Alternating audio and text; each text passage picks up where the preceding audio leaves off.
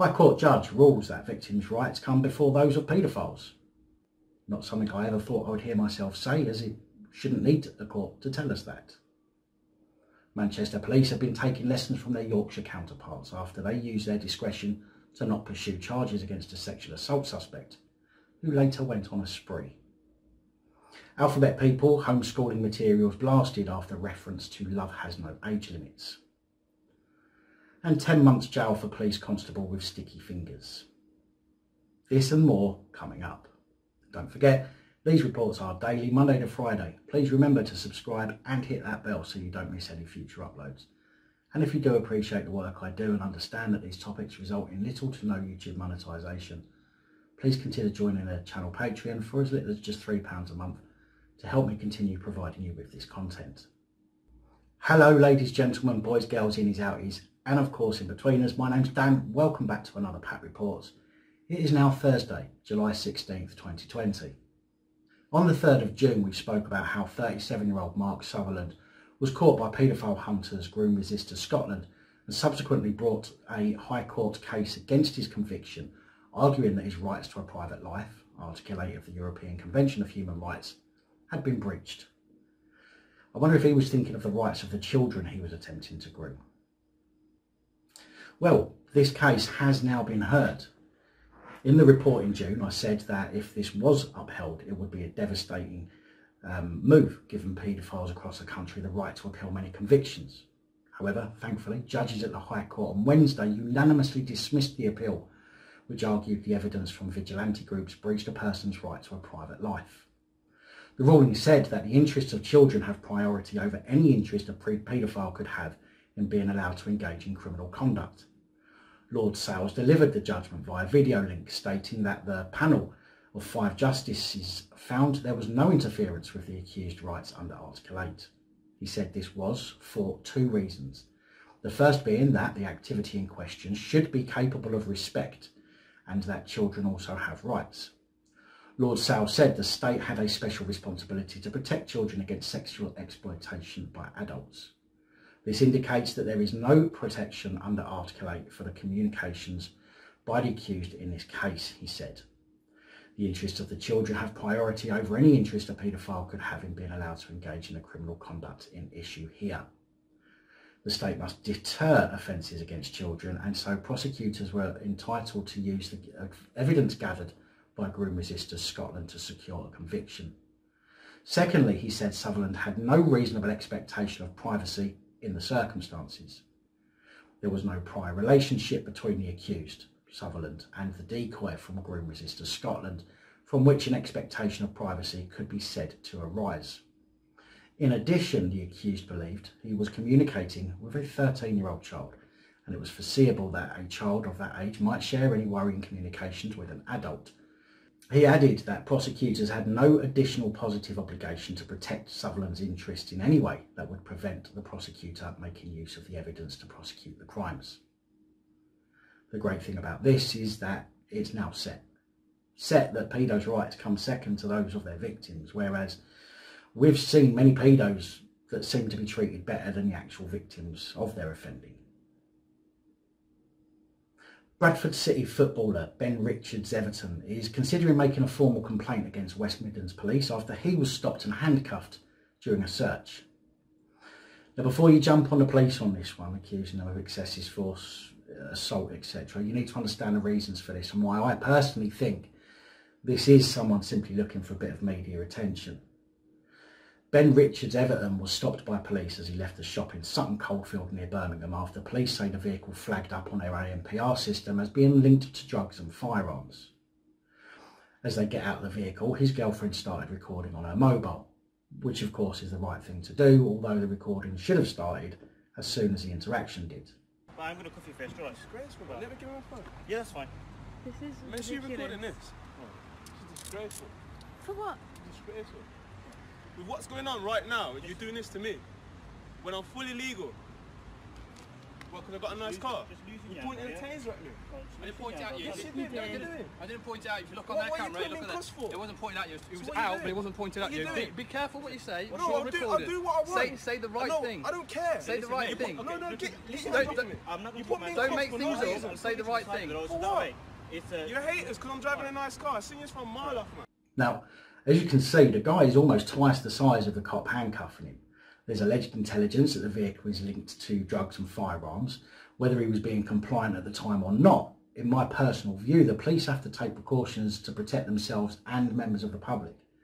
As I'm sure there isn't anyone watching here who simply would be happy to allow him to wander around while your backs are turned searching the vehicle.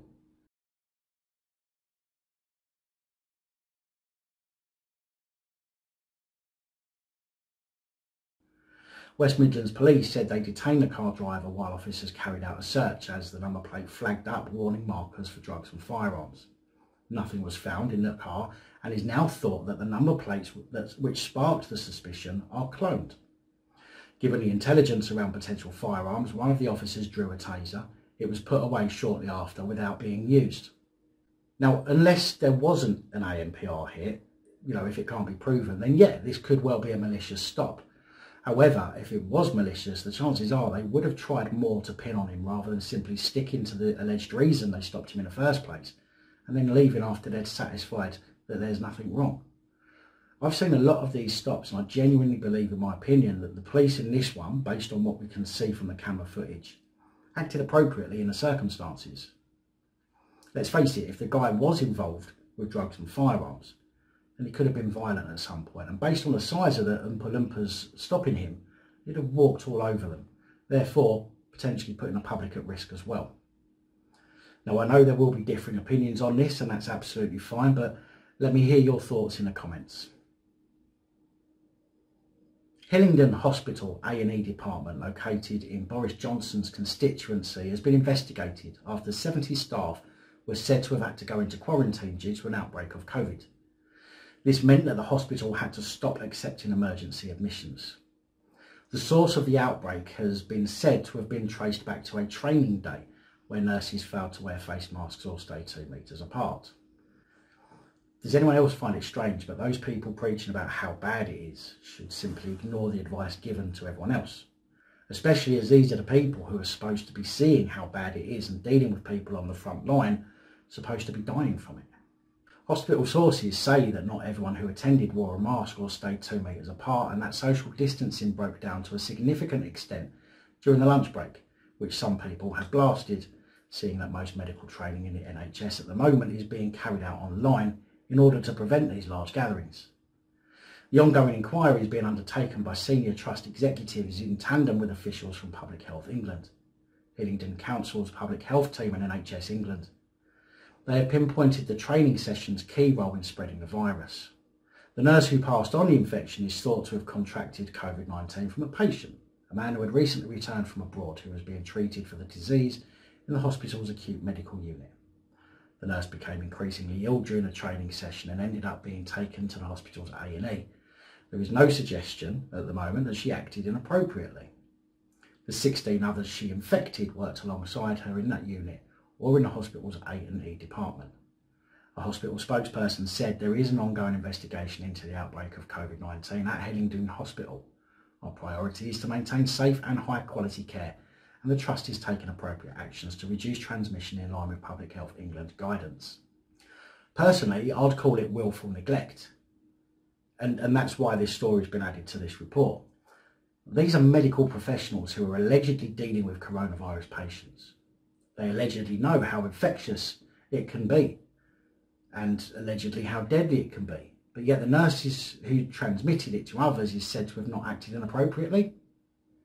I mean, I wonder how she got it in the first place, if she was wearing a mask at work and following protection procedures. Ex-Northumbria Police Constable PC Malcolm Bennett. We spoke of his misconduct hearing on the 13th over allegations that he unlawfully accessed police systems on multiple occasions to get information on separate women.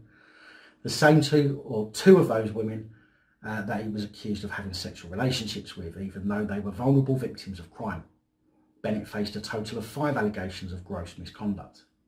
The hearing was held on Monday, has found that all five allegations against him were proven. During the hearing, it was said that Bennett visited the women whilst on duty and wearing his uniform, having driven to their homes in a police vehicle. He also unlawfully accessed police computer systems for information about two other vulnerable women to whom he sent texts of a sexual nature.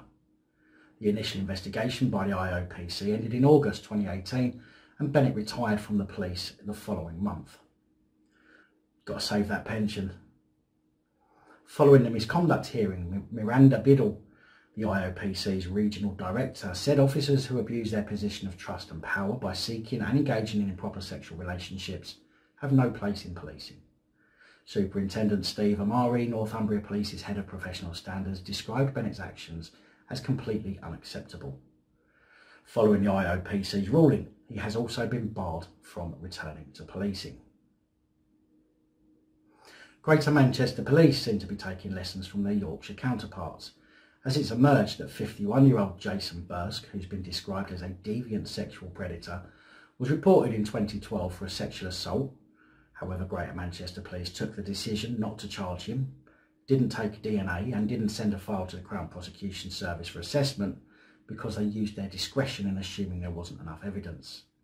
However, seven years later, his 2012 victim saw him again, this time in a police appeal. Taxi driver Bursk left Radcliffe where the 2012 assault happened, moved to Blackley. He returned to the Bury town with his wife and three children in 2018 and within weeks he had sexually assaulted a woman in her 70s. Bursk's elderly victim woke up to find him in her bedroom after he had turned the lights off. He pinned her down, placed his hand over her mouth when she screamed, before running off when she kicked out at him.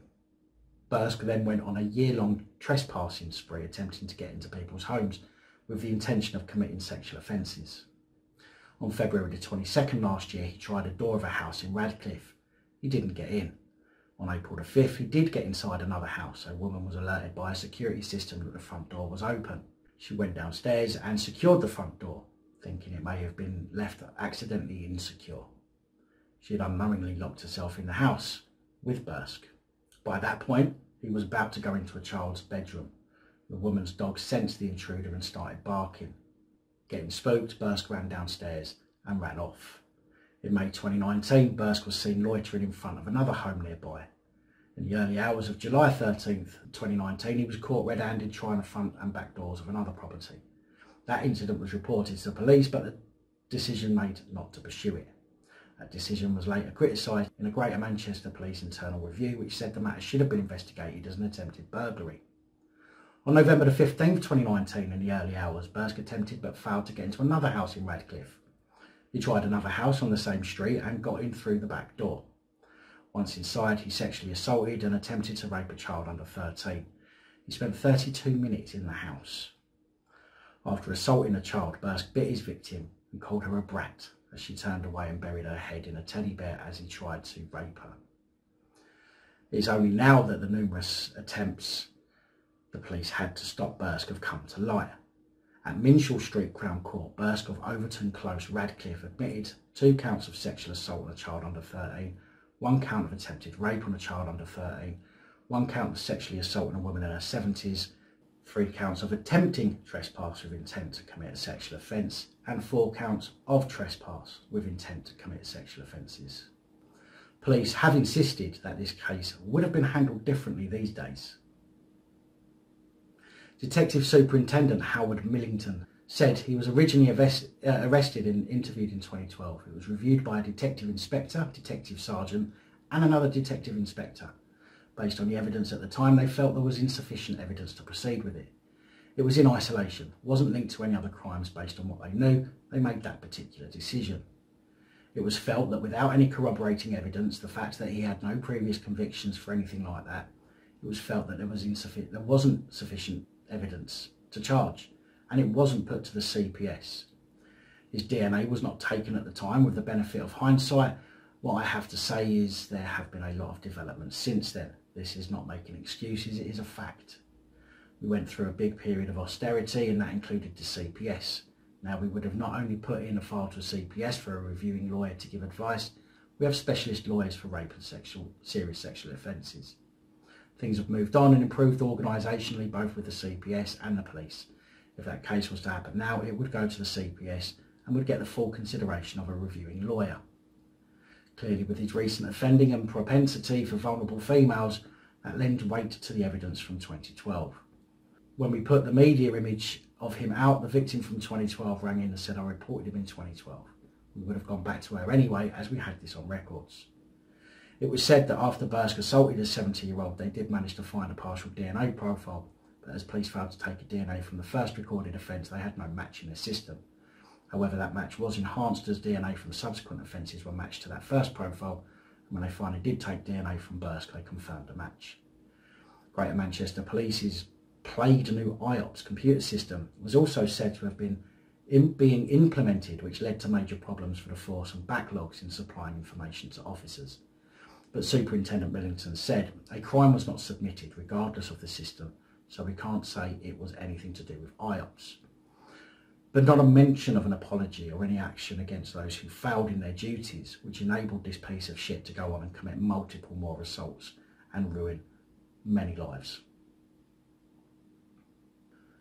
George by ASDA has been under fire after supplying parents with home learning packs produced by diversity role models which was said to have been normalising paedophilia. Angry parents lashed out after the packs sent by email targeting primary school aged children, which included reference to love has no age limit.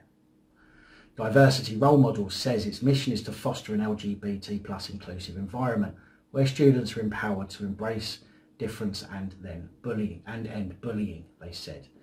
We believe every child and young person deserves the opportunity to be successful in their school career and their differences to be understood and celebrated. Not quite sure how trying to intimate that age doesn't matter at their age is going to help them be successful in their school career or embrace difference and end bullying. They said our home learning packs are a resource that has been created to support parents or carers with homeschooling. The intention is for these to be used by adults to enable open conversations on LGBT plus issues with their children. We recognise that some of the material in the pack has been misinterpreted and we want to reiterate that DRM unequivocally, unequivocally, don't, do not condemn anything. We recognise that some of the material in the pack has been misinterpreted and that we want to reiterate that DRM unequivocally commends unequivocally that DRM certainly condemns anything that is or could be interpreted as supporting paedophilia or harm to children. We would like to thank those who raised the concern about our materials and reaffirm that we, are, we all share the fundamental principles to safeguard all children. The home learning packs have now had their wording changed after the complaints. Ex-Avon and Somerset Police Constable Tim Silverwood appeared in PAP reports on the 18th of June and 10th of July due to the fact he was accused of stealing £2,750 and 550 euros from another person on October 16, 2019, whilst he was on duty in Bridgwater. 45-year-old Silverwood appeared at Bristol Magistrates Court after being arrested and on June 18th admitted the theft. Yesterday, Wednesday the 15th of July, he appeared again, this time at Bristol Crown Court, where it was heard that Silverwood was on duty in Bridgwater on the 16th of October when he was approached by a woman who he thought was a member of the public and handed what he thought was a stolen bag found in a lay-by. He was told it had money in it, some of which he stole. The court then heard the woman who handed him the money was an undercover officer with the police's professional standards department. Silverwood later told colleagues he did not know why he had stolen the money, but denied his £40,000 debts were his motive. The court heard he had been suffering from post-traumatic stress disorder after attending a sudden death. So another mental health excuse then. I mean, that one's really getting old. You know, at least mix it up a bit and use something else for as a defence. Well, after being dismissed last week after the misconduct hearing, Silverwood has also found himself landed with a 10-month jail sentence, although I've yet been able to find out whether it's a suspended sentence or not an Avon and Somerset police constable who the force have refused to identify is to face a misconduct hearing, having been accused of having business links to criminals.